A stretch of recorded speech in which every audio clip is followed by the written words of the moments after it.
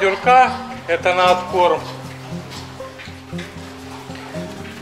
Вот наши эфочки. Я их кормлю пшеница, ячмень, горох. Гороха 10%. Рассадил более-менее в клетках нормально, чисто. Этих будем забирать уже. Это еще рано. Вот эту свиноматку, вот эту свиноматку буду убирать. Поросят забрал еще позавчера туда в отдельный маленький сарайчик на больничку. Они какие-то вяленькие, тускленькие. У нее то есть молоко, то нету молока, то кормит, то не кормит. И одного, их оставалось 5 штук, одного придавило, реально я видел. Поэтому ее будем убирать. Это со всех, которых я оставил первородок, это в том числе. Вот это одна, получается, у меня выбраковка будет. Ну, уберем ее, уберу ее на мясо и все. Чтобы не думать, не гадать, не играть в угадай мелодию и так дальше. И ожидаю опорос Анфисы. И этих тоже надо забирать уже. Вот этих буду забирать. Получается, вот этих буду забирать. И забирать буду вот от этих Нюркиных. Нюрку уже выжали, как, не знаю, как лимон выжата. Я думаю, она не загуляет на пятый день. Наверное, дней 20 будет восстанавливаться, а потом загуляет. И вот этих. Это вот маленькая свиноматочка. Маленькая, да удаленькая. Он 9 поросят, все живы, здоровые, все крупные. Так само обезьянка. Ну, небольшая свиноматка, первоходка, тоже поросята. Все живы, здоровые, 9 штук. И все крупные, хорошие. Так же само взять вот в этой, как было 7 штук. Так все живы, здоровы, все хорошо. У киевлянки одного придавило. Их было 8, одного придавило. То есть вот так. Ну а эту будем выбраковывать по-любому, убирать, потому что ну зачем она нужна, если с ней какие-то вопросы. Как бы я не уверен, в следующий раз, вы видите, вот она, типа как откормила поросят, она даже не похудела. Она нормальная, крупная, здоровая свиноматка. Поэтому я Андрею позвонил, записался на определенное число записался на определенное число и в принципе будем ее убирать на мясо.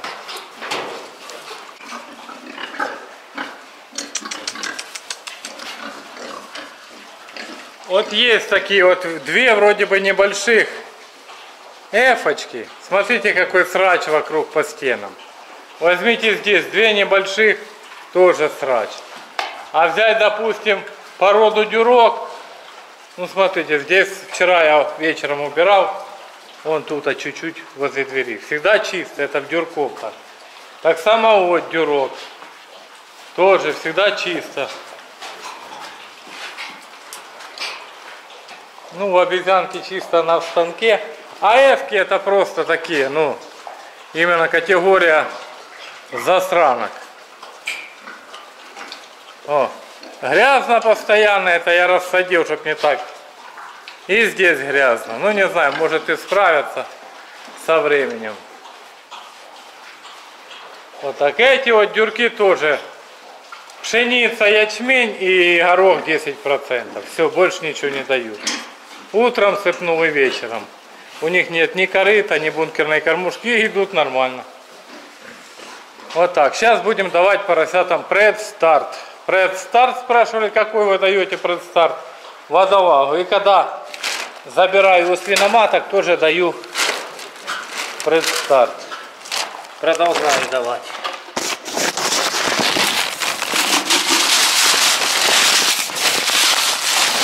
И вот так вот. Чуть-чуть на пол. Раз. Этим сюда захожу, это не в станку. Вот так.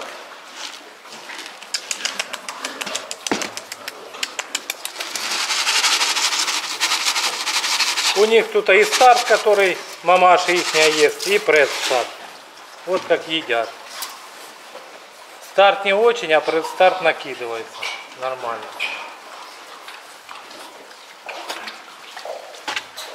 Давай тебе чуть-чуть.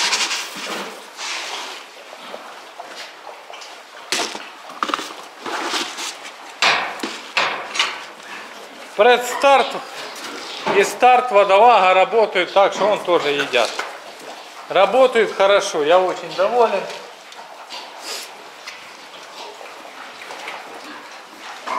Тут, конечно, нареканий нету. Эй, тихо, тихо, тихо, тихо. Давай вам. Вот так сюда насыпай, оно.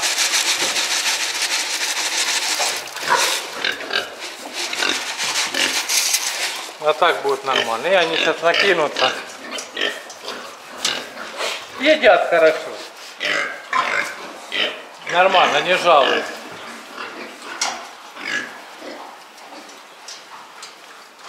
Водичку пьют. Ну, короче, вот это я вот так утром даю и так само вечером. Только вечером еще убираю. И, в принципе, все. Это что касается вот этого сарая.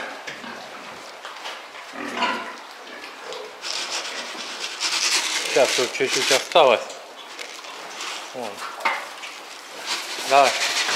Они до вечера вот это поедят. Вечером опять буду насыпать. Так что вот так. Вот так прошла моя управка. Все, вот это утром дал. И все. И до вечера. Вечером знаю, что у меня сегодня воду набирать надо. Я раз в двое суток набираю бак воды. 350 литров.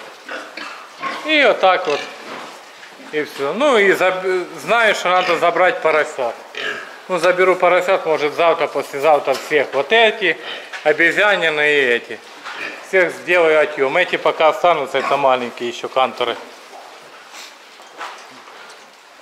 Короче, вот такие вот у нас дела. И пойдем дальше, пойдем в карантин или в больничку, где сидят ее поросята. Там поросята, ну, от поросят, я не знаю, килограмма, наверное, по 4 они, наверное, 5 не будет. Но я посмотрел, килограмма 4. Я не взвешивал. Ну, то есть кормят очень плохо, молоко не жирное и молочность слабенькая. Это со всех кантура вот это, только такая. Там канторша ее сестра, хорошая свиноматка. Вот сестра, хорошая свиноматка. И Кнопа тоже себя показала довольно-таки неплохо. Утром я не убираю, ну бывает поубираю, но вообще утром не убираю. Вот это как есть, вот это как есть. Вечером добавляется и все вывожу потеньку, чтобы не жарко убираю. Вот такие дела. Все это поела. Вот она поела, вот смотрите, я даю два ковшика утром, два вечером. И у нее еще, наверное, в кормушке и есть. Да, в кормушке не вылизано. Кормушка полная. Вечером давать вообще не буду. Муха уже есть. Надо менять липучки. Все липучки забиты. Ну и мухи, понятно, он сейчас все равно они как-то пролетают там и плодятся как заразы. Ну, мух так явно-то не летает, но сидят, где тепло, где, вот, допустим, там, где лампа красная, там они сидят, гасятся больше. А так, в принципе, нигде нет. Ну, чтобы сказать, мух, ажиотаж, муха есть, но сильно, как бы, чтобы прям очень нет такого. Вот так, сейчас поросят забираю, щит убираю, все, уже аж до следующего пороса. И так везде поубираете временные свои щиты с гипсокартона и все. Этот деревянный поставлю потом анфисе. И так свободно будет. Хорошо, когда свободно убирать, хорошо убрал, вымел. Все удобно, все прекрасно. И также, ну и так везде, вот как здесь. Вымел, все, работай дальше. И все.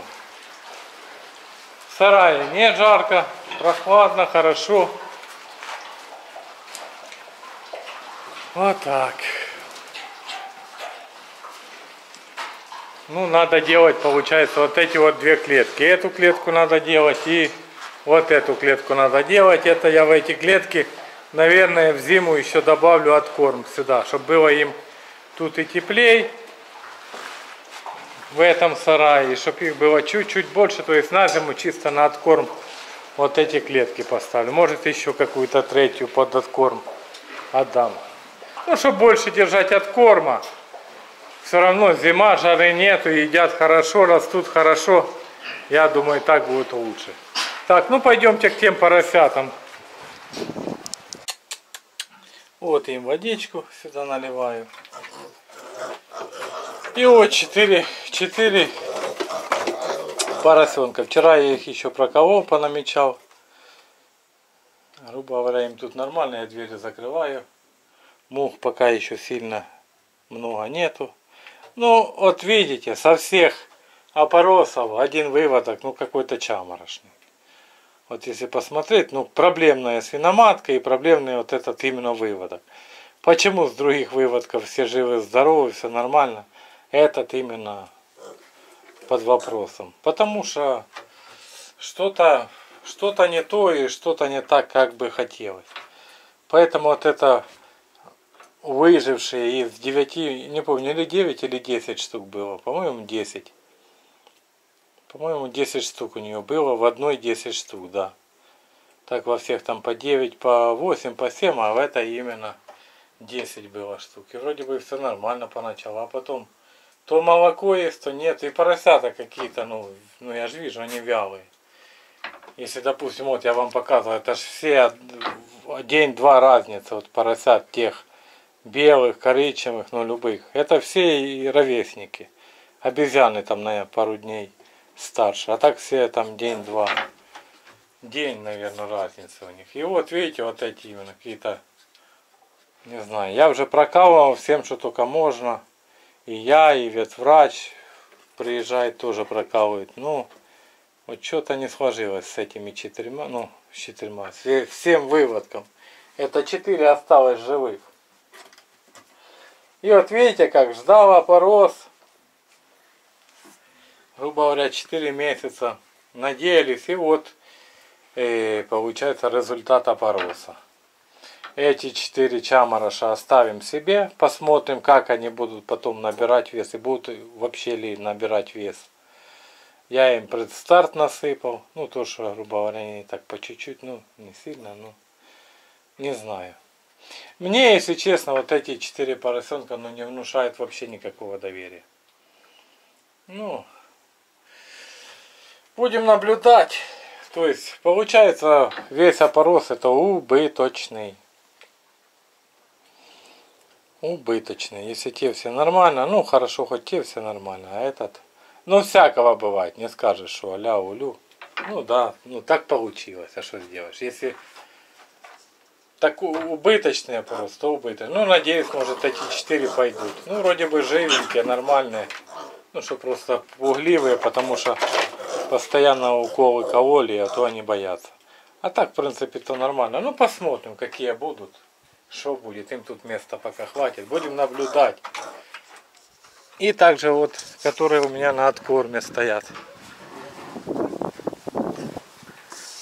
Вот. Ну, если поросята хорошие, оно глаз радует. Подсыпай только корм и заливай воду и все. Поросята набирают. Ну растут, я прям на глазах вижу, что растут хорошо. В кормушке корм стараюсь всегда, чтобы был. Муха в этих сараях по-любому будет, потому что все открыто, и окна, и двери. Ну, это такое. Ну, сами по себе идут хорошо. Смотрю, наблюдаю, идут хорошо, вопросов нет. Ну, а тот вывода как-то, не знаю, не сложилось. Не сложилось, не срослось. Ну, я вам скажу так. Посмотрим, оставим, покормим. Я им сейчас предстарт, предстарт хороший, свежий, водолага, поэтому должны, должны по чуть-чуть, по чуть-чуть пойти. Колоть их уже ничем не надо, они живы, здоровы, просто чаморочные с-под свиноматки.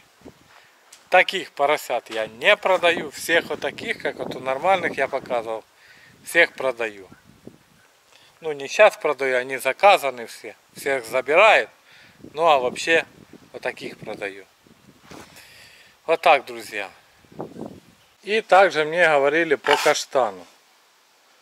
Зачем ты рассказал про каштана, что он слепой? Ну, если он слепой, что тут такого? И что каштана брат э, сдох от сердца, от сердечного приступа. Ну, это же я говорю, как есть.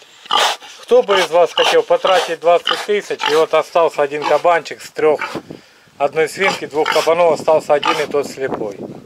Я потратил более 20 тысяч гривен.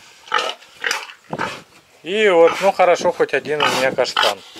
И мне писали, а зачем ты это говоришь, мог бы промолчать. А зачем мне молчать? Я просто, все же думают, что у меня, вот у водолаги, смотрите, как хорошо и опоросы проходят, и все. И все типа по, как по гладкам. Ну я вам просто показываю и рассказываю, что вот я стартовал с каштана, минус сразу там двадцатка, это мне там и Максиму, тоже свиноводу. Это только со старта. Ну я то хотел хорошего хряка и вот этого э, хряка каштана хорошие поросята и хрячки тоже хорошие. Люди брали, никто еще не жаловался. Поэтому вот так. Я просто сказал, как оно есть, без всяких там, а может, а, а вдруг, без всяких прикрывательств. Потому что там этот Леша сильно умный, там, я ж помню, когда он гнал на меня. Это его благодарность, что я к нему поехал кто знает куда и брал у него этих петренов. Поэтому я сказал, я взял и показал вам э, э, результат его хороших поросят. Не дешевых на то время. Минус двадцатка. Ну хорошо, хоть каштан, он ничего не видит, ну свое дело делает.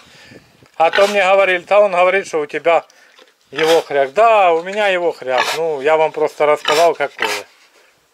Он там продает, у него объявление на OLX.